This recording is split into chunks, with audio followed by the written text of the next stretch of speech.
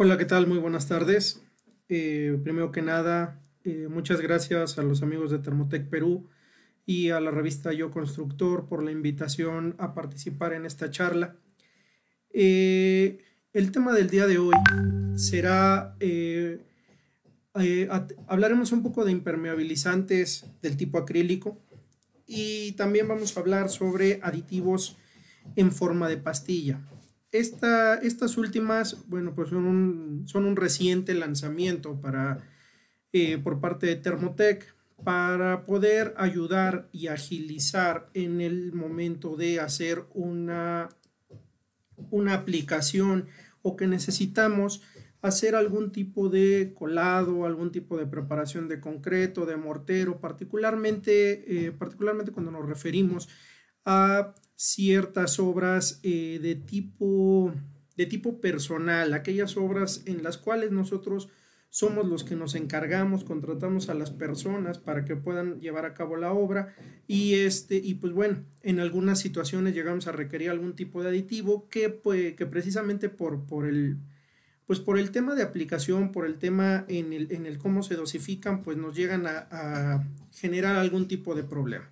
Estas pastillas son de gran beneficio porque son muy simples de usar, literalmente están listas para ser, para ser aplicadas a las mezclas de concreto de mortero y eso será un gran beneficio. Bueno, entonces, eh, sin más preámbulo, pues vamos a pasar a la parte de la presentación. Eh, como podrán ver en el título de la, de la presentación, pues vamos a iniciar hablando de impermeabilizantes y posteriormente trataremos los temas de, las, de los aditivos en pastilla. Este será el programa de nuestra plática. En la siguiente hora nosotros vamos a, vamos a platicar, vamos a ver eh, qué, es, qué es para nosotros la impermeabilización, por qué requerimos hacerla. Vamos a definir algún tipo, algunos tipos de superficie en conocimiento de que, bueno, existen una gran cantidad de estas. Eh, vamos a platicar acerca de un par de productos vamos a ver una instalación o cómo es que, que, Thermotec recomienda la instalación en superficies de concreto, así como algunas consideraciones básicas para que nosotros podamos realizar eh, la instalación de una forma adecuada. Posteriormente pasaremos a los aditivos en pastillas y finalmente eh, una parte de conclusiones donde si ustedes tienen alguna pregunta, eh, algún comentario, con mucho gusto lo podemos, lo podemos aclarar, lo podemos este, ver y intentaremos dar la mejor respuesta posible. ¿Por qué requerimos impermeabilizar? Eh, normalmente el mayor enemigo de las losas de concreto y de, de cualquier tipo de superficie eh, que se utilice como techo es el paso de la humedad. Si nosotros no hacemos un correcto control de este paso de humedad, podemos llegar a tener efectos desde la molesta gotera, la mancha que se llega a ver en el techo, hasta efectos progresivos eh, que nos empiezan a dañar eh, las superficies. Este, este daño puede llegar en un momento dado a ser estructural y es por tanto que nosotros debemos evitar, debemos de proteger esta superficie, eh, este techo para que no pase la humedad y por tanto no tengamos efectos nocivos. Estos efectos nocivos particularmente se dan a través del proceso de la oxidación. Eh, si, nosotros no hacemos una, una, correcta impermeabilización, la humedad va a pasar eh, y va a empezar a, generar un proceso de oxidación, el cual para fines prácticos pues termina siendo un proceso expansivo y este proceso expansivo, bueno, pues nos lleva a que se empiece a dañar nuestra estructura. Yo creo que muchos aquí han, tenido la oportunidad de ver ciertos, eh, ciertos elementos de concreto, particularmente cuando entramos a alguna casa, algún inmueble, donde nos encontramos con que este, pues el, el, el techo se está cayendo. Entonces, este, como se está cayendo este techo, ya se, ya se puede ver perfectamente eh, el, el, armado metálico. Y esto pues nos va a empezar a generar problemas. Entonces, por tanto, eh, pues nosotros debemos tener, debemos de tener mucho cuidado con esto para poder evitar esta parte. Como ustedes pueden ver en estas imágenes, se podrán encontrar dos, fenómenos. Eh, precisamente en la primera imagen es en, es en la cual se está cayendo el, eh, el acabado interior de este techo. Esto se debe a que la humedad ha pasado por mucho tiempo y por tanto empieza a desprender el acabado.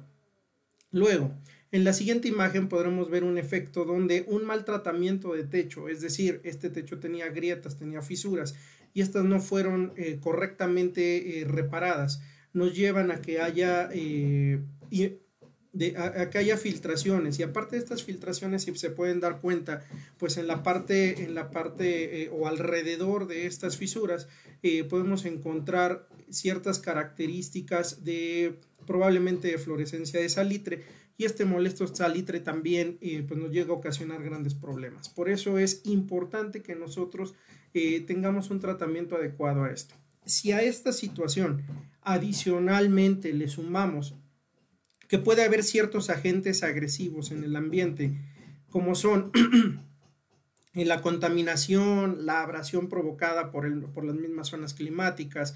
Este, esto nos va a generar un efecto de daño, por eso es de suma importancia hacer una correcta impermeabilización y buscar la protección del techo.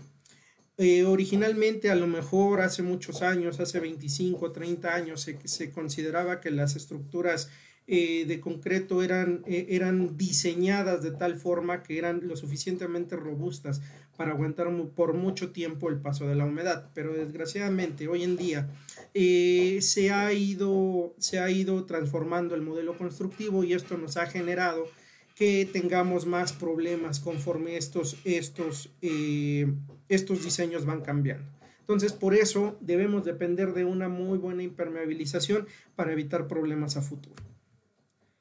Estos son algunos de los tipos de cubiertas que nos podemos encontrar. No son todos, son, son, son probablemente los más, los más usados, eh, pero estos podrán ser tan caprichosos como el arquitecto que los diseñe. Podemos encontrar eh, muchas eh, formas, puede haber una variación inmensa, pero lo importante es que si nosotros nos basamos en un modelo de impermeabilización, en una técnica de impermeabilización adecuada, no importa qué tan rara sea esta estructura, nosotros podemos llevar a cabo una impermeabilización eh, a buen puerto. Entonces, eh, particularmente el predominante en todos los que construimos en concreto, normalmente serán techos planos o cubiertas o cubiertas de azotea planas. Eh, después nos podremos encontrar en la segunda división las cubiertas que son a dos aguas, estos techos que tienen una pendiente superior a los 45 grados o que parten de 45 grados y están particularmente eh, desviadas una hacia cada costado. Después podemos encontrar también techos inclinados sin teja. Ojo, ¿por qué mencionamos sin teja? Porque hay techos que aunque sean inclinados también con fines estéticos se protegen con teja. Aquí hay que tener mucho cuidado, porque muchas veces se cree que la teja es un elemento impermeable y efectivamente en cierto punto nos puede ayudar, pero no va a ser al 100% impermeable. Entonces, por tanto, antes de nosotros colocar una teja sobre cualquier, sobre cualquier estructura, sobre cualquier superficie, nosotros requerimos hacer una impermeabilización. Una vez puesta esta, hecha esta impermeabilización, nosotros podemos recurrir a, este, a colocar la teja sin ningún problema, siempre y cuando consideremos no perforar el sistema impermeable que ya colocamos. Después tenemos cubiertas de lámina metálica. Esto es muy común en todos los, en todos los inmuebles que son tipo bodegas industriales, eh, bodegas de manufactura, eh, algunos otros elementos que son naves, naves muy, muy grandes. Entonces estos techos de metal eh, tienen que ser protegidos. tradicionalmente, pues por su nombre, podremos hablar de que estamos impermeabilizando los techos metálicos, pero el techo metálico no se impermeabiliza, se recubre es decir, se protege de que la humedad precisamente eh, tenga esta actuación de oxidación sobre la superficie y no la pueda dañar con el paso del tiempo. Eh, también tenemos las láminas de fibrocemento. Probablemente hace 20 o 30 años nos podremos recordar que, que, se les conocía como láminas de asbesto, de asbesto cemento, pero bueno, a raíz de que fue comprobado que el asbesto tiene efectos cancerígenos, pues estas fueron retiradas del mercado y hoy son de fibrocemento. Esto no quiere decir que, a lo mejor en construcciones ya muy viejas podamos encontrar alguna de estas. este tipo de lámina también se puede recubrir, pero ojo, si ya tenemos algún problema de filtración, si la lámina está rota, si la lámina está perforada, eh, es casi, casi imposible poder hacer un buen trabajo de, recubrimiento sobre este tipo de, elementos, ya que los productos de este tipo, los productos acrílicos, dejan una película delgada. Entonces, si la, si la, si la ruptura, si la oquedad es muy grande, eh, tendremos que incluso recurrir mejor al cambio de pieza para poder eh, hacer el recubrimiento correcto. Después tenemos cubiertas con sistema de aislamiento térmico. Estas se utilizan mucho en zonas que ya sean de mucho frío o mucho calor. Probablemente algunos de ustedes están familiarizados eh, con este tipo de aislamientos que se utilizan ya sea para impedir el paso del calor o para, este, o para que el frío eh, o para que el calor no salga, dependiendo. Estamos hablando de que depende la zona geográfica donde se está instalando. Y finalmente, eh, lo que se le considera la mayor parte de los trabajos que podemos hacer en impermeabilización, que son los trabajos de reimpermeabilización y los trabajos de mantenimiento a sistemas anteriores. ¿Por qué los dividimos? Porque no son, se trabajan de una manera parecida, pero no son iguales. La reimpermeabilización es cuando nosotros vamos a limpiar toda la superficie de un sistema anteriormente colocado y vamos a colocar y vamos a poner uno nuevo. Un mantenimiento a sistema se refiere a un, a una, a un techo, a una superficie que que su impermeabilización está correctamente instalada, no tiene problemas de filtración, no tiene problemas de rupturas pero, pero ya se venció su tiempo de vida útil y lo que queremos es rejuvenecerlo para que éste se mantenga activo y no tener que hacer todo el trabajo nuevamente. Entonces, la diferencia entre uno y otro va a ser precisamente que uno ya presenta problemas y que el otro simplemente requiere una capa de rejuvenecimiento. Dentro de los sistemas acrílicos que tenemos, eh, estamos, estamos, estamos llevándoles a ustedes los acrílicos fibratados. Estos materiales tienen, una, tienen integrada una cierta proporción de fibra de polipropileno que les va a ayudar a simular una, una especie de tela. Eh, más adelante vamos a ver el modelo de instalación y entonces es cuando me van a entender un poquito más lo que les voy a explicar pero realmente cuando nosotros colocamos eh, las dos capas de este, de este producto y estas dos capas son colocadas en forma de cruz, es decir, la primer mano va en el, sentido eh, eh, transversal al que fluye el agua y la segunda mano va en el sentido en el que fluye el agua, nos va a ayudar a que las fibras se sobrepongan y nos van a formar una, una especie de tela, nos van a formar una especie de red que nos va a permitir que nosotros podamos colocar estos materiales en losas eh, no mayores a 90 metros cuadrados eh, sin ningún tipo de refuerzo. Yo creo que ustedes están familiarizados o, en el mercado han llegado a ver ciertos productos que requieren una tela en la totalidad de la superficie independientemente del tamaño de superficie que tengan. Este material fibratado les va a beneficiar porque van a ahorrar tiempo, van a ahorrar dinero, no necesitan eh, probablemente más de una persona para poderlo estar instalando, ya que, ya que eh, esta facilidad de que podemos trabajar losas menores a 90 metros cuadrados sin la necesidad de ningún tipo de refuerzo, nos da una gran practicidad, una gran versatilidad en este producto. Estos productos eh, hoy en día eh, estamos en, la tendencia de utilizarlos en color blanco. ¿Por qué en color blanco? Está demostrado, y esto es, un, y esto es, una, eh, es una tendencia global, precisamente por el tema de ahorro de energía particularmente, pero también en la tendencia de protección al cambio climático, que los productos en color blanco tienen la facultad, tienen la posibilidad eh, de, evitar el paso del calor. Gracias a, este color blanco hay un proceso de reflectancia de la luz solar y esto nos va a ayudar a que, a que los techos no se calienten. Entonces, por tanto, vamos a tener nosotros espacios más confortables. ¿Cuándo es más significativo y cuándo lo vamos a poder ver mejor? cuando nosotros eh, nos llega nuestro recibo eléctrico en, un en, una época de verano donde las temperaturas aumentan, pues podemos, podemos ver si es que llegáramos a tener equipos de refrigeración, si llegamos a tener ventiladores, este, que el gasto energético es menor para poder enfriar el interior del inmueble. Este es el beneficio que, más nos da un, aplicar un material en color blanco. Ahora, esta tendencia, como les decía, es una tendencia global. Eh, en todas partes del mundo se está haciendo esta parte eh, o se está trabajando mucho sobre este tipo de productos. Particularmente en América eh, tenemos a, los Estados Unidos, que son, que son uno de los países que más promueven este tipo de, productos, sobre todo en sus zonas cálidas como son, como son California, Texas, la Florida etcétera. Eh, y en el caso de México, bueno, pues nosotros estamos continuando con esta tendencia y toda nuestra zona, toda la zona norte de México, del país, así como todas las zonas costeras, que son, que son áreas que superan eh, los 35, 37 grados eh, en un verano, se colocan materiales de este tipo para que puedan ayudar en el ahorro de energía y mantener inmuebles más frescos. Aquí podrán ustedes leer que tenemos el cumplimiento a dos normatividades este, que son mexicanas. La NMXC 450, que es una, es una norma que habla de la calidad de producto, y la segunda, la NMX U125, que es la que precisamente avala la reflectancia solar de los materiales. En Estados Unidos tienen otras normas de referencia. Estas normas que tenemos aquí, eh, que les estoy presentando, son las que son válidas para el territorio mexicano.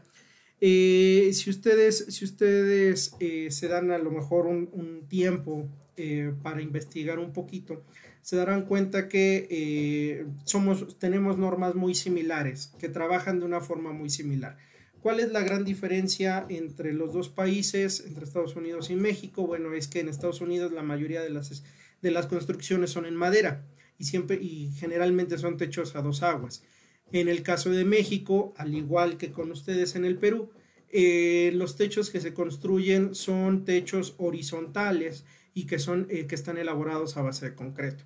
Entonces, esta gran eh, similitud nos puede beneficiar y nos puede ayudar si nosotros siempre que vamos a utilizar un producto busquemos que esté certificado. Esto nos va, nos va a avalar, esto nos va a dar la confianza de que estamos colocando productos que cumplen eh, con los aspectos mínimos necesarios por los cuales ustedes los están adquiriendo. En el caso de los Estados Unidos, bueno, hay normatividades como, la, como las ACTM, que son las que trabajan sobre este tipo de eh, fenómenos o este tipo de proyectos como es la reflectancia solar. Eh, dentro de la parte de los complementos, nosotros nos vamos a poder encontrar que vamos a requerir un imprimante y a su vez vamos a requerir también un sellador. Eh, este imprimante nos va a funcionar como puente adherente entre eh, la superficie de concreto o el elemento metálico y, eh, y el impermeabilizante. Esto, esto, es sumamente necesario porque si no lo hacemos así, podemos llegar a tener deficiencias, deficiencias de adherencia y esto nos puede llegar a provocar que el impermeabilizante se desprenda. Como les decía, si nosotros no, este, no, no, hacemos una buena preparación de superficie, pero si tampoco utilizamos los complementos adecuados, lo más probable es que eh, nuestras impermeabilizaciones duren poco y pues esto probablemente se vuelva en dolores de cabeza y reclamos, y reclamos puntuales. Y finalmente, y bueno, y en el otro, y en el otro aspecto tenemos eh, el otro producto que es el Thermotec Flex. Este Thermotec Flex es un, es un sellador de poliuretano que nos sirve para resanar grietas y fisuras en, estos elementos de concreto. A su vez también nos sirve para sellar eh, las uniones o los traslapes entre las láminas, también nos sirve para rellenar eh, los, eh, los, la tornillería para que nosotros tengamos un buen funcionamiento, un buen desempeño del sistema que nosotros estemos instalando. Muy bien, pues bueno, vamos a pasar a la parte de la instalación.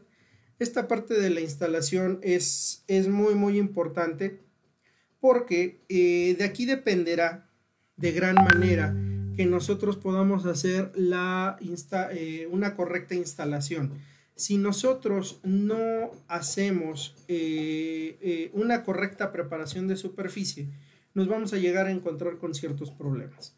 Entonces, por tanto, el primer paso que tenemos que cumplir es que nosotros tenemos que hacer una revisión de la losa y una limpieza adecuada.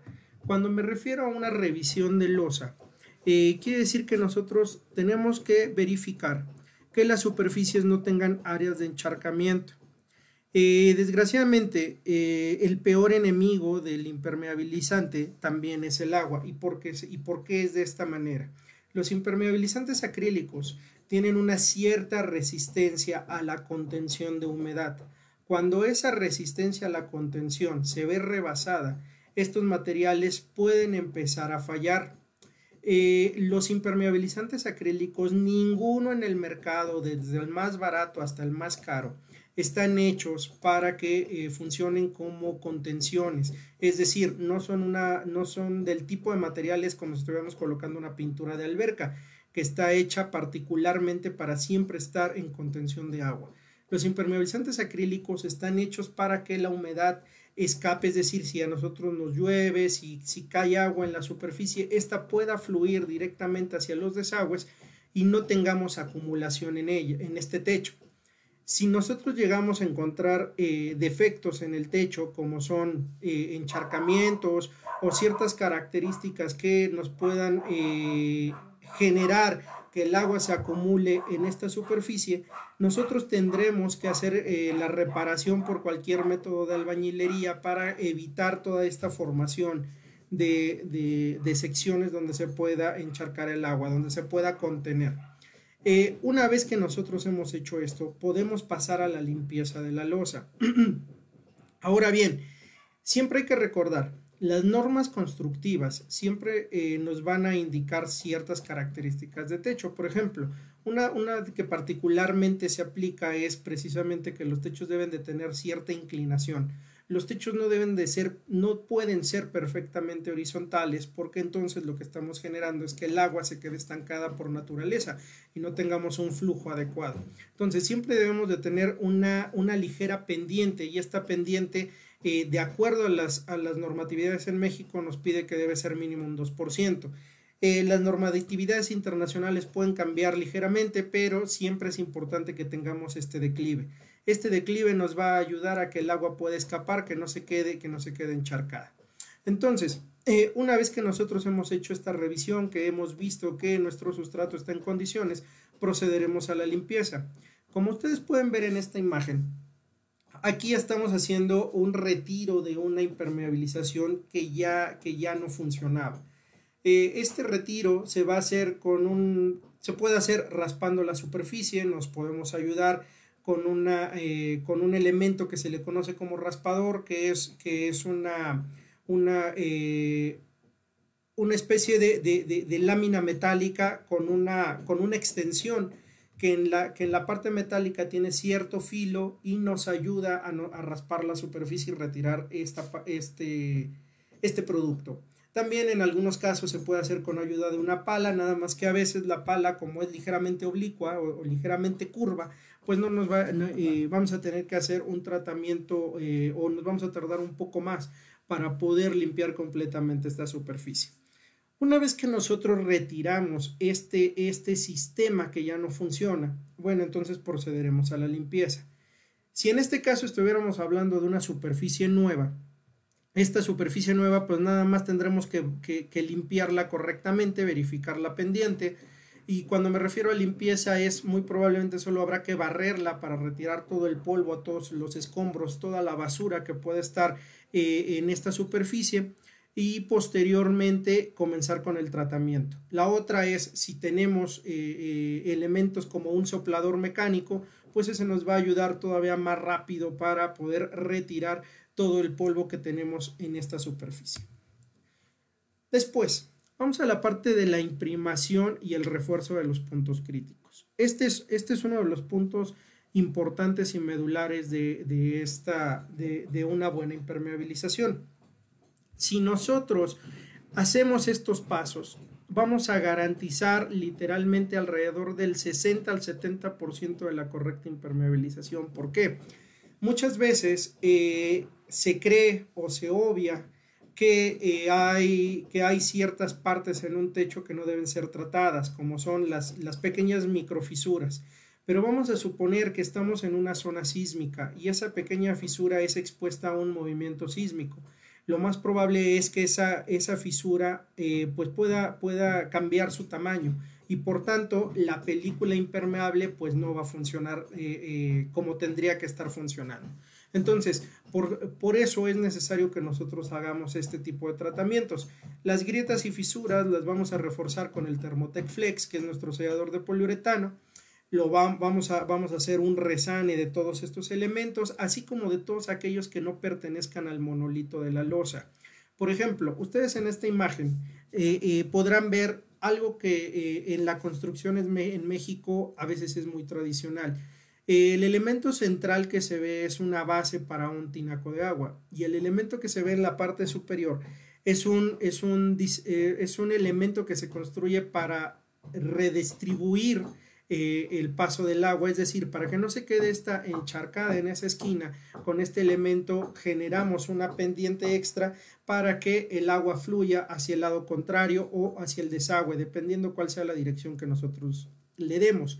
Pero como, esto, como estos elementos son preparados o son construidos posterior al colado de la losa, corremos el riesgo de que se forme una junta fría. Y esa junta fría pues, nos puede generar un paso de humedad. Entonces, por tanto, todo el, todo el perímetro de estas áreas debe ser reforzado correctamente eh, con, el, con, el con el termoflex. Una vez que nosotros hemos hecho esto, bueno, pues procederemos, por ejemplo, con los pasos de tubería, a también reforzarlos y aquí sí tendremos que hacer uso de, probablemente de tela para que nosotros podamos cerrar completamente esta sección ya que, los, ya que siempre se va a generar un pequeño espacio entre el elemento, entre el, entre el tubo y el concreto. Esto se debe pues a la, a la, contracción plástica que puede llegar a tener o contracción por secado que puede tener el concreto al momento de estar fraguando y de perder humedad. Entonces, siempre habrá un pequeño espacio y es importante que ustedes consideren que el agua requiere del espesor de un cabello para que pueda penetrar y cuando penetra va a buscar a través del concreto por dónde continuar hasta que empecemos a ver la molesta gotera. A veces es muy conflictivo poder determinar de dónde proviene una gotera porque dependiendo del tipo de pendiente pues nos podemos encontrar que la, que la gotera eh, se está provocando 5 o 6 metros eh, al lado contrario. Y pues todo ese camino, todo ese trayecto lo está recorriendo el agua para poder penetrar. Entonces es de suma importancia que nosotros cuando vamos a hacer la impermeabilización tengamos eh, en consideración que debemos de resanar todas las grietas y fisuras que tengamos sobre el elemento a impermeabilizar. Una vez hecho esto, vamos a la aplicación de la primera capa. Como les mencionaba, estos productos son, son materiales fibratados. Estos productos fibratados nos permiten que los podamos colocar en losas no mayores a 90 metros cuadrados sin necesidad de tela. Cuando tengamos losas superiores a los 90 metros cuadrados, siempre van a requerir una tela de refuerzo. Esta tela de refuerzo es una tela de poliéster entretejida que nos va a ayudar a contener los movimientos térmico-estructurales que pueda presentar el inmueble. La tela de refuerzo exclusivamente dentro de un sistema impermeable tiene, únicamente tiene esa función, el contener movimientos térmico-estructurales. Si nosotros eh, creemos que este material nos ayuda con la impermeabilización o si alguien nos lo llega a comentar, algún colega, algún algún, este, eh, algún técnico de otra compañía, pues nos puede, eh, le debemos aclarar que eso no es cierto. Las telas, las telas particularmente tienden, eh, si no están bien recubiertas, tienden a absorber humedad. Es como cuando nosotros tenemos aquellos, aquellas lamparitas de alcohol donde se les ponía un, este, un ya, ya sea un pequeño trapo, se les ponía un, un pabilo de, de, de, de tela de algodón, el alcohol se iba absorbiendo a través de este elemento y, nosotros lo prendíamos y parecía que era eterno, ¿no? Nunca, nunca, nunca se apagaba o nunca se consumía hasta que eh, se acababa el alcohol. En el caso de las telas, si no son bien recubiertas, ¿qué va a pasar? Que una tela mal cubierta puede llegar a absorber humedad y esa humedad puede empezar a penetrar entre las capas de impermeabilizante y nos puede empezar a dañar nuestro sistema. Por tanto, es bien importante que nosotros la coloquemos correctamente desde la primera capa y, después la recubramos perfectamente con la segunda. Entonces, solo recapitulando en este punto, cuando nosotros tenemos eh, una losa eh, inferior a 90 metros cuadrados, con nuestro producto imper o doble acción podemos hacer, eh, podemos hacer aplicaciones sin necesidad de tela de refuerzo en toda la superficie. Cuando tenemos losas, cuando tenemos techos superiores a los 90 metros cuadrados, siempre vamos a requerir una tela de refuerzo en toda la superficie. Aquí particularmente este procedimiento aplica exclusivamente para techos de concreto. Cuando tenemos techos metálicos, los techos metálicos solo se recubren en, los traslapes, tanto transversales como longitudinales de las láminas y todo el área de tornillería. Eso es lo único que lleva un tratamiento especial. De ahí en fuera, todo lo demás simplemente se le va, se le va a aplicar el impermeabilizante a dos manos. Es un error muy común, es un error por, porque a veces una mala recomendación así no lo hizo, quererle poner tela de refuerzo a un techo de lámina. Desgraciadamente los techos de lámina tienen formas eh, diferentes que pueden ser acanalados, pueden ser cuadrados, pueden ser rectangulares, pueden ser triangulares. Y estas formas eh, lo que van a hacer con la tela es que eh, mientras esté fresco el impermeabilizante pues van a mantener la forma. Pero en los ángulos que se forman entre las partes bajas de estas formas geométricas nos van a generar que se puede empezar a desprender la tela. Por eso es que no se recomienda. Al final, eh, eh, la, tela, la tela de refuerzo en un, en, un, en un, techo metálico solo debe ser usada en los traslapes transversales y longitudinales. Una vez hecho esta parte, entonces ahora vamos a, vamos a terminar y vamos a poner la segunda capa de impermeabilizante a toda la superficie. Con esto nosotros vamos a, a, terminar el sistema, vamos a recubrir correctamente toda la superficie y vamos a garantizar la vida útil ya sea de 3 o de 5 años del sistema que fue correctamente colocado. Si nosotros seguimos estos pasos, si nosotros eh, eh, consultamos nuestras fichas técnicas y consultamos la información que viene en el envase, ahí viene perfectamente detallado todos los pasos a seguir. Y si en caso de alguna duda, bueno, pues están nuestros amigos técnicos de Thermotec Perú que nos pueden ayudar a solucionar cualquier, cualquiera de estas dudas con eh, en esta parte, esto es lo que nosotros eh, recomendamos para una correcta instalación de un sistema impermeable acrílico. Ahora bien, vamos a pasar a la parte de los aditivos para concreto y mortero, pero en forma de pastillas. Yo creo que muchos de ustedes los conocen, los han visto, pero en su presentación líquida. Esta presentación líquida eh, nos hace nos complica un poco la tarea de poder, de poder colocar estos, estos eh, aditivos, ya que necesitamos medir, eh, medir la cantidad de líquido que vamos a, que vamos a colocar, necesitamos este, tener a lo mejor algunos pequeños eh, implementos para poder hacer una, una, una dilución correcta. Y pues bueno, eso puede en un momento dado complicar esta situación. Entonces, lo, que, lo que necesitamos es con estas pastillas que no, eh, no requerimos más que destaparla, sacarla del empaque y entonces poderla nosotros adicionar a la mezcla que estemos preparando. Con esta situación, con esta aplicación, nosotros vamos a cubrir nuestras necesidades dependiendo del tipo de pastilla que estemos usando este, ya sea acelerante, ya sea retardante, ya sea, ya sea este, impermeable eh, o ya sea plastificante. Entonces, eh, si se dan cuenta en las imágenes que estamos viendo, nosotros podemos, nosotros podemos tener una cierta eh, característica de obra que es muy particular cuando nosotros somos los que estamos contratando a las personas para que nos ayuden a hacer nuestra, nuestro inmueble, nuestra casa y con eso vamos a, vamos a tener eh, el uso perfecto de estas pastillas. Yo creo que hoy en día toda la gente que se dedica a, la albañilería y más cuando vamos a estar trabajando en ciertos, este, en ciertas obras que pueden ser dos o tres, este, de dos o tres pisos, una casita, eh, eh, pues a lo mejor sí grande en área, pero que no estamos contratando a lo mejor al arquitecto, al ingeniero, sino simplemente al, a, a nuestro amigo de la construcción pues perfectamente aquí podemos, podemos aplicar estas pastillas. Entonces, ¿cuáles son estas pastillas? Nosotros tenemos cuatro tipos de pastillas particularmente.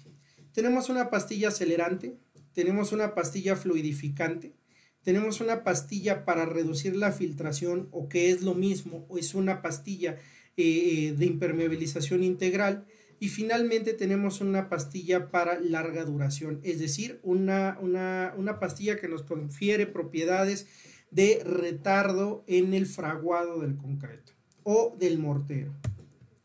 Muy bien, bueno, pues en la parte de la, del acelerante de mezcla nos vamos a encontrar que todo va a ser tan fácil como que por cada bulto de cemento nosotros coloquemos un par de pastillas acelerantes y nosotros vamos a tener precisamente este proceso de acelere de fraguado. Es decir, aquello que para una, pues para desimbrar normalmente una, una, una losa nos puede, nos puede cuando menos llevar 15 días, probablemente en 10, entre 8 y 10 días nosotros podremos estar haciendo este, este desimbre, porque hay que recordar, que para que una, una estructura pueda ser desimbrada, pues debe de alcanzar el 75% de, de, su resistencia de diseño. Entonces, nosotros con estas pastillas, nosotros eh, configuramos y, hacemos que nuestro concreto lo logre. Adicionalmente, esta, esta pastilla nos va a ayudar a que tengamos una mayor resistencia. Eh, obviamente todos estos datos, cuando nosotros vamos a trabajar sobre concreto, eh, y si queremos tener un dato preciso, siempre se deben de hacer pruebas previas para poder conocer cuál va a ser el resultado. Pero eh, tenemos, eh, y al final, hacia el final de esta plática, precisamente les voy a mostrar un video donde nosotros estamos haciendo estas pruebas para, que para que ustedes vean la practicidad de estos materiales. Entonces, facilidad, no necesitamos medir, no necesitamos mm, un elemento con el cual estar midiendo un líquido, estarlo mezclando con el agua y estarlo agregando a la mezcla de concreto. Aquí simplemente nosotros sacamos nuestras pastillas de su empaque, las ayudamos desmoronando un poco, se agregan a la mezcla y poco a poco se van a ir integrando. Nos ayudan con una reducción de agua del 10%, esto es bastante sustancial ya que entre nosotros eh, más podamos quitarle agua sin, al concreto sin afectar su, su trabajabilidad, eh, vamos a tener una mayor resistencia. Después, tenemos nuestra, nuestra pastilla fluidificante de mezcla. Nos podemos llegar a encontrar ciertas obras donde tengamos un requisito donde eh, de de que la instalación puede ser un poco compleja, a lo mejor por el armado metálico. Entonces esta pastilla fluidificante nos va a ayudar a que el material pueda penetrar perfectamente, se pueda introducir entre todos los espacios del armado metálico y pues, eso nos, va a ayudar a, la practicidad de poderlo colocar. Esta, esta, esta pastilla nos, nos, nos mejora, por ejemplo, en el tema de la compactación, no tenemos que estar picando y picando o, tenemos, vamos a usar menos un vibrador para poder, este, para, eh, para poder compactar este concreto. Eh, esta pastilla también nos ayuda en caso de que en algún momento alguien necesite eh, pues colocarlo con, un, con algún tipo de bomba, pues nos va a ayudar en esta parte del bombeo, ya que al ser una mezcla fluida, pues va a ser más, más fácil para ser lanzada por una bomba. Como todas estas pastillas, y ustedes lo podrán ir viendo poco a poco, van a tener una cierta reducción de agua. Esta, esta pastilla nos ofrece entre un 5 y un 10% de la reducción en el, en el uso de agua de mezcla. Después tenemos nuestro mortero de larga duración. ¿Por qué eh, allá en algunos casos ya nos han preguntado por qué si hablamos tanto de concreto? ¿Por qué esta pastilla se le puso mortero de larga duración cuando también funciona perfectamente para el concreto?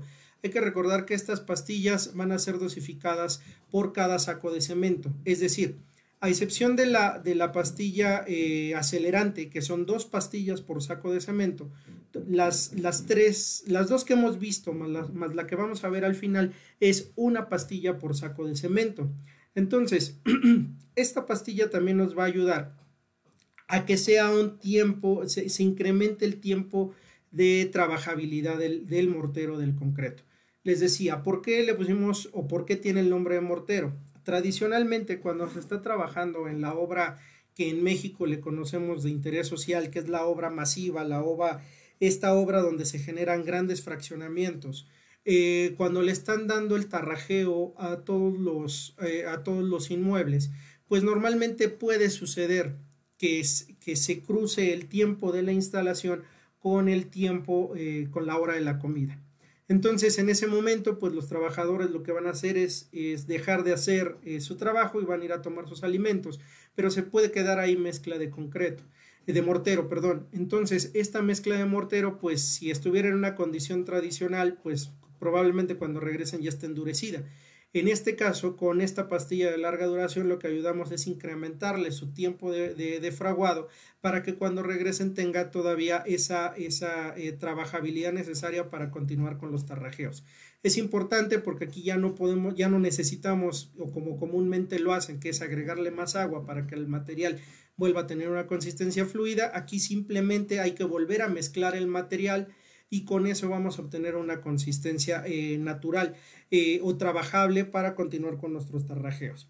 Eh, particularmente es por eso que se le puso el nombre de mortero de larga duración, pero también se puede utilizar sobre concreto, no va a tener ningún, ningún problema porque hay que recordar que todos los aditivos eh, normalmente funcionan sobre, eh, sobre, el cementante, es decir, sobre nuestro cemento. No van, eh, los agregados sí tienen cierta injerencia, pero tradicionalmente la reacción se lleva sobre el cemento.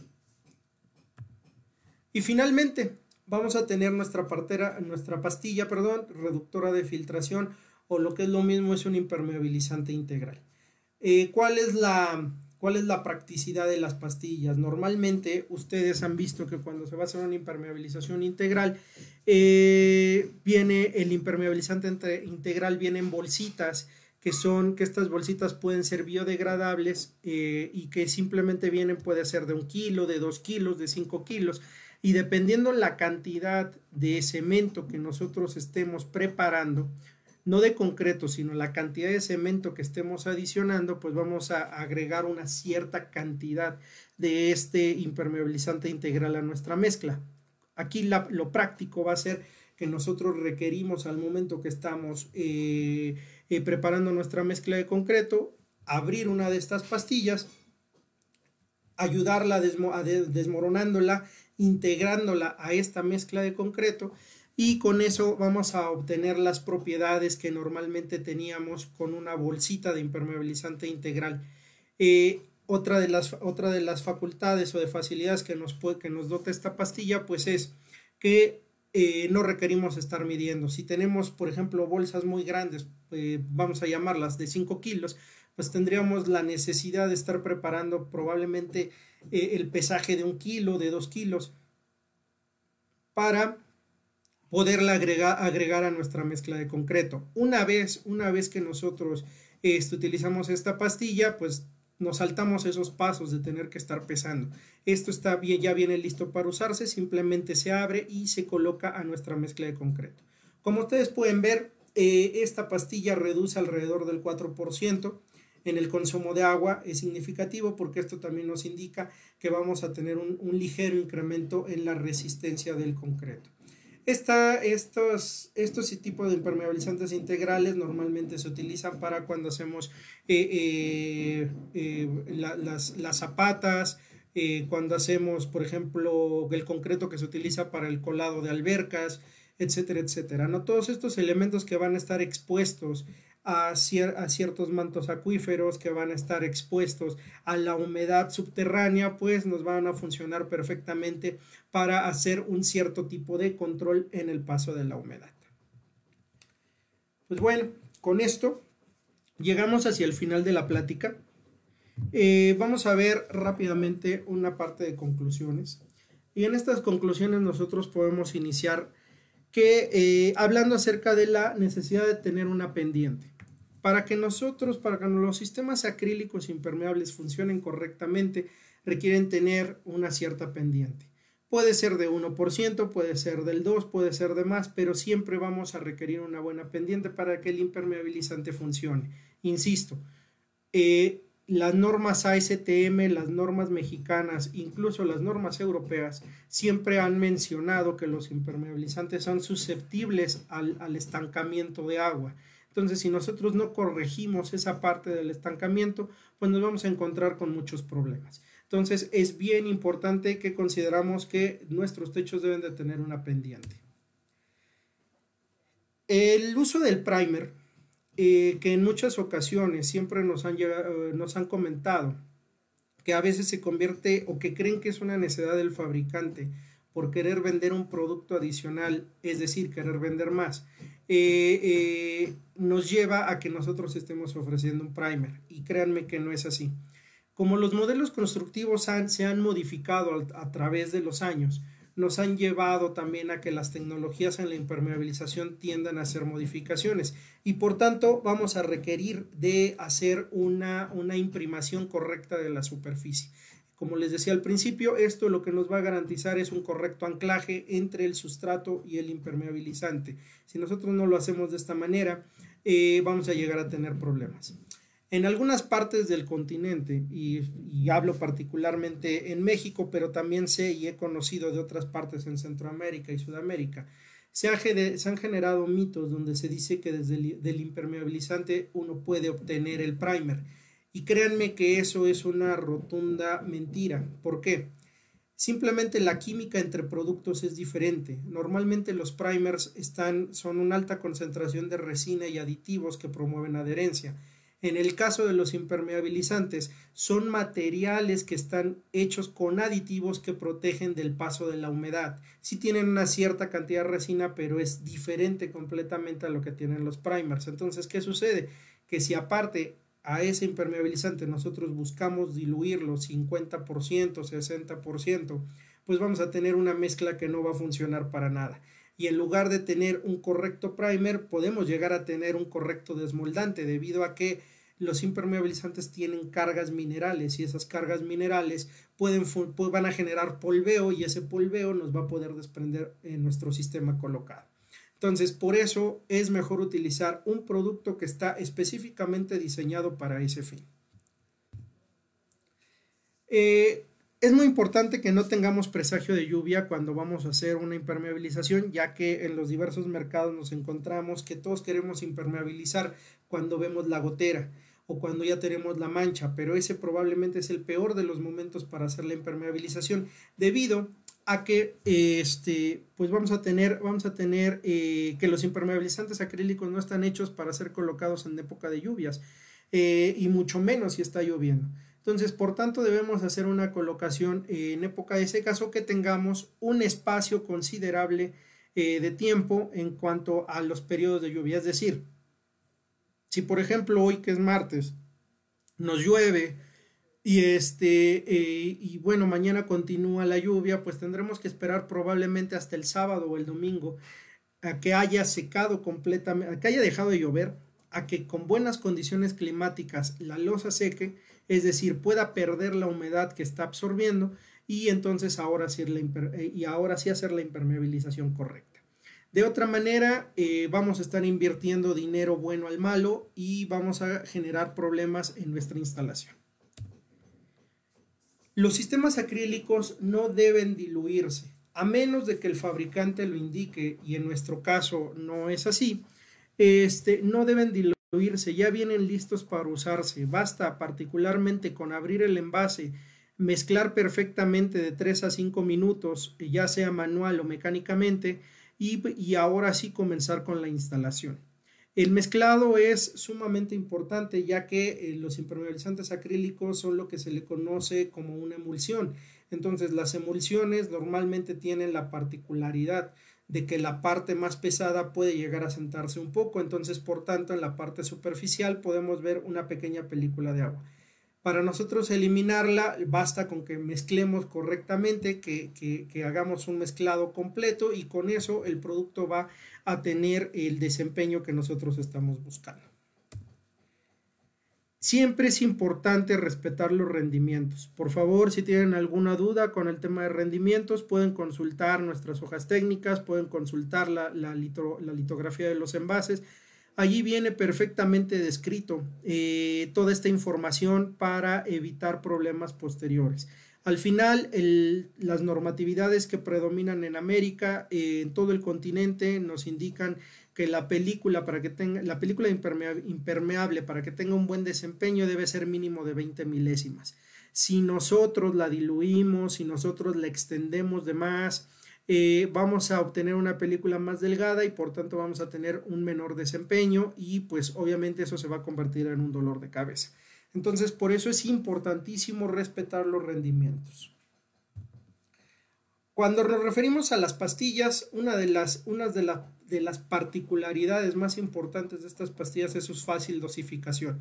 Como les mencionaba, todos aquellos que hayan tenido la oportunidad de trabajar con aditivos, pues los, y sobre todo son líquidos, pues tenemos que estarlos midiendo o pesando, tenemos que estarlos agregando al agua, tenemos que estar haciendo ciertas combinaciones. Y en el caso de las pastillas, pues solo basta con sacarlas de su empaque, de, este, desmoronarlas un poco, agregarlas a la mezcla y con eso vamos a tener eh, eh, eh, la, operación adecuada de esta pastilla.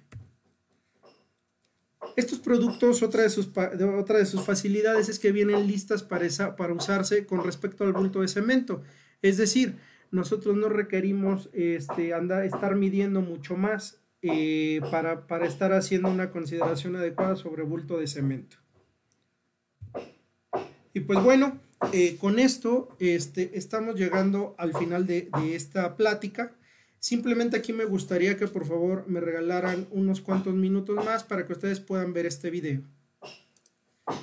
En este video lo que, lo que ustedes van a apreciar es precisamente la colocación, la aplicación de las pastillas impermeables. Digo, perdón, de las pastillas Hola, aditivo. ¿Qué tal? Soy Ivo Alcázar, especialista en construcción Termotec. El día de hoy tendremos un capítulo diferente en nuestro taller. Pues les voy a mostrar una nueva solución en aditivos para el concreto, que aumentará la calidad, la durabilidad y la resistencia en tus obras. Estamos hablando nada más y nada menos que de nuestras pastillas Thermotec, que son cuatro. Y ellas te ayudarán a potenciar las mezclas de concreto. Impermeabilizante integral acelerante de mezcla, plastificante de mezcla. Y finalmente, mortero larga vida. El día de hoy vamos a ver cómo actúa nuestras pastillas Thermotec plastificante de mezcla y también nuestra pastilla Thermotec acelerante de mezcla. ¿Están listos para aprender a potenciar sus mezclas? Por supuesto, Ivo. Genial, Gustavo. Entonces, manos a la obra. Para realizar nuestra mezcla de concreto, necesitamos los siguientes componentes. Agua, arena, piedra y cemento. Los dejamos que se mezclen todos por 5 minutos y luego haremos un ensayo en nuestro cono de habas.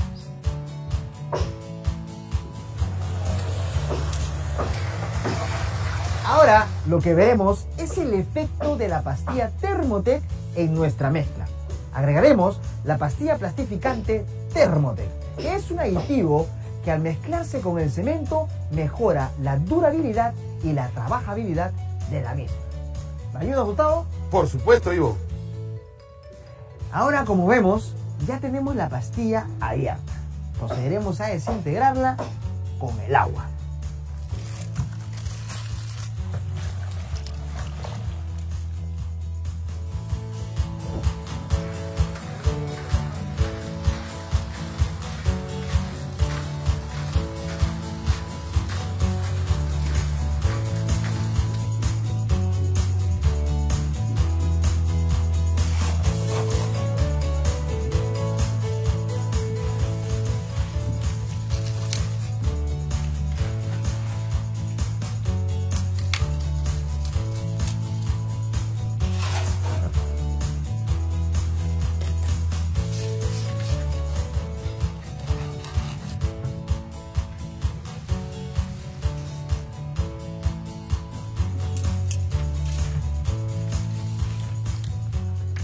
Medimos el asentamiento y llegamos a 9 pulgadas de eslavo. Y sin añadir más agua. Recuerda que eso depende del diseño de tu mezcla. Miren qué bien quedó nuestra mezcla. Ahora está listo para usar en cualquier estructura.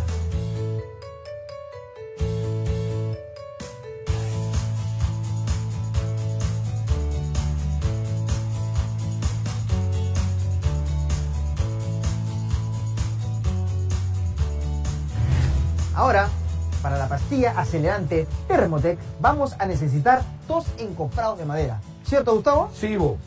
Para poder medir la diferencia en el tiempo de secado entre una mezcla sin aditivo y otra mezcla con nuestra pastilla acelerante Thermotec. Perfecto. Pero para esto vamos a realizar las dos mezclas al mismo tiempo. Ya tenemos una mezcla con aditivo y una mezcla sin aditivo. Vamos, Gustavo.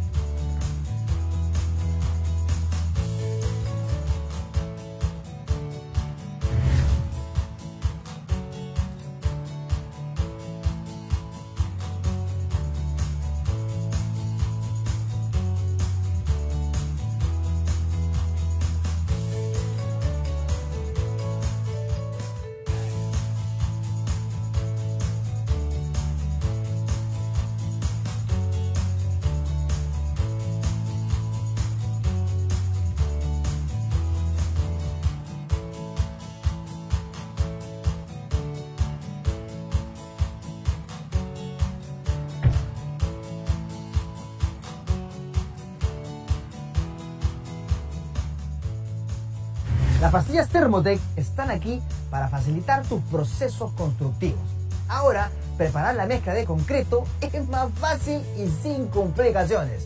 Además, tus estructuras perdurarán en el tiempo con nuestros aditivos.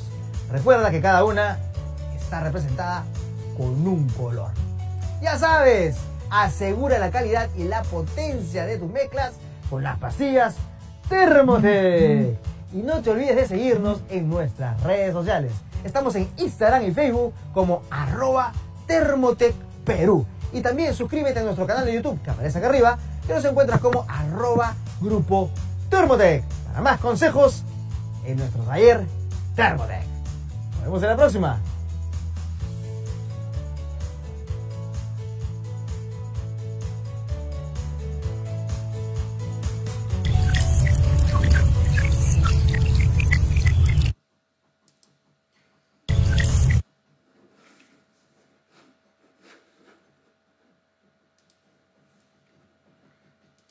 Pues bueno, muy bien, como ustedes podrán, este, ver, este es el, el, modelo de cómo se hace eh, una aplicación de esta, en este caso de la pastilla acelerante, así como vieron el desempeño de esta, que en dos horas con respecto a una mezcla tradicional de concreto eh, tiene una resistencia tal que ya se puede uno poner de pie sobre, eh, sobre esta superficie. Este, este video eh, espero sea lo suficientemente ilustrativo para cómo funcionan estas, estas pastillas en el caso particular de la pastilla acelerante. Eh, por aquí, ya antes de darle fin a esta charla, tengo, tengo algunas preguntas que nos están dejando. Muchas gracias por, por, por hacernos estas preguntas. me preguntan cómo saber qué tipo de cubierta es la recomendable. Eh, quiero imaginarme que esto tiene que referir, que se refiere a las superficies de concreto para poder instalar un sistema acrílico. Cualquier sistema, a excepción, a excepción de superficies que estén con tratamientos como son eh, eh, con impermeabilizantes como son el PVC, el HPDM, el EPDM, eh, o materiales a base de, siloxanos, cualquier otro tipo de superficie puede ser tratada con un sistema acrílico. Aquí lo importante es que nosotros podamos este, identificar cuál es la superficie para darle el tratamiento adecuado. Como hoy vimos, eh, hoy vimos un tratamiento sobre una superficie de concreto, que es la que tradicionalmente vamos a trabajar. Los techos de lámina son sumamente eh, fáciles de tratar con, con, recubrimientos acrílicos, solo hay que hacer las consideraciones de los traslapes y la tornillería, así como cuando tenemos ciertas espumas de poliuretano colocadas como aislamientos térmicos, también puede ser tratada.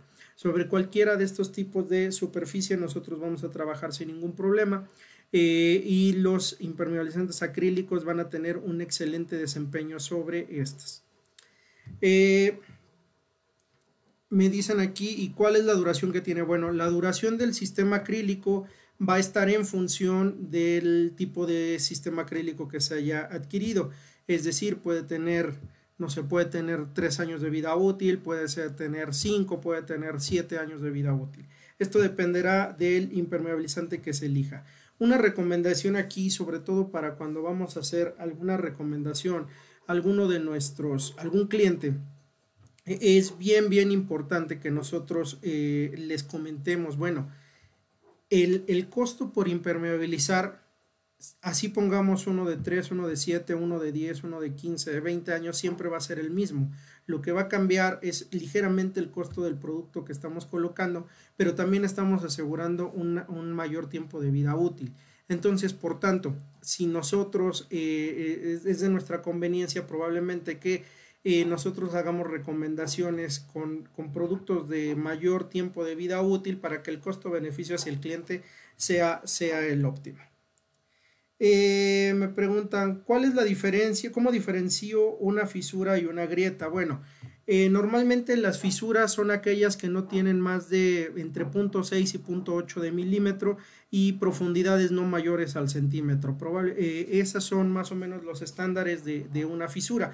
Todo aquello que esté por encima de estos valores ya se convierte en una grieta y eso nos dirá cómo es que tenemos que tratarla. Normalmente, por ejemplo, nuestro, nuestro Thermoflex eh, va a funcionar perfectamente en cualquiera de las dos características siempre y cuando eh, nosotros hagamos la identificación correcta y el tratamiento adecuado para la limpieza de la misma. Eh, pues bueno, eh, con, esto, con esto llegamos al final. Nuevamente, no me queda más que agradecerles a mis amigos de Thermotec Perú por haberme invitado a, participar en esta charla, a la revista de Yo Constructor también. Y, pues espero, espero que esto sea de utilidad para todos ustedes. Eh, ahí está todo nuestro abanico de productos, todo el abanico de productos que tenemos en, la línea de Thermotec. Eh, y pues sin más, eh, pues les doy las gracias y nos vemos en la próxima.